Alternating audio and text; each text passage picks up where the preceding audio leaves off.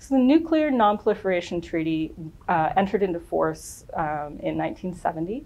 It was negotiated primarily between the United States and the Soviet Union. Um, it was actually an initiative of Ireland, uh, who was very eager to see an end to the nuclear arms race uh, and a commitment from the nuclear armed states at that time to disarm. And so the agreement in the Nuclear Nonproliferation Treaty is that the nuclear armed states who are party to that treaty, which currently is the United States, United Kingdom, Russia, China, and France, that all of them agree in a legally binding provision to eliminate their nuclear weapons, to negotiate with each other for nuclear disarmament and an end to the nuclear arms race. And in exchange for this, the other states parties to the treaty will not acquire nuclear weapons, so they're bound by the treaty's nonproliferation obligations.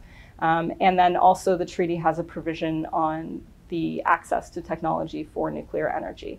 And so what we've seen, unfortunately, in the last 50 years that this agreement has uh, been in force is that the nuclear armed states have not complied with that obligation to uh, negotiate with each other for disarmament. Um, for the most part, there has been consistent implementation by the other states' parties of their nonproliferation agreements.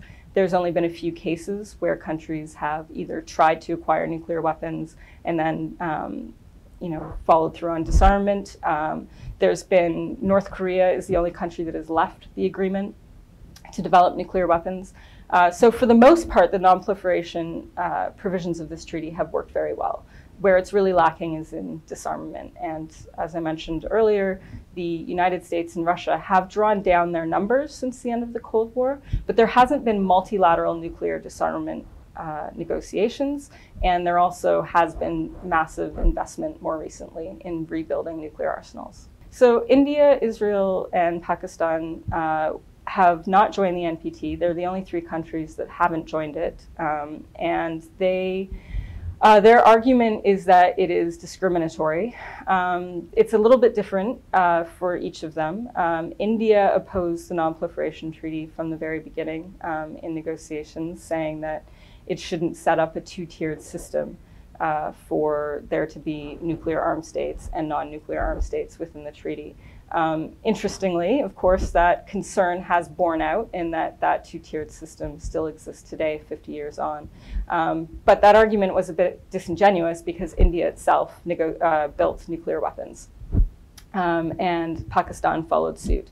And so they argue that they won't join the Non-Proliferation Treaty, that they need to be recognized as nuclear armed states um, but the treaty sets a, a, timeline for when you needed to develop nuclear weapons by, and after that, you can't join the treaty as a state with nuclear weapons.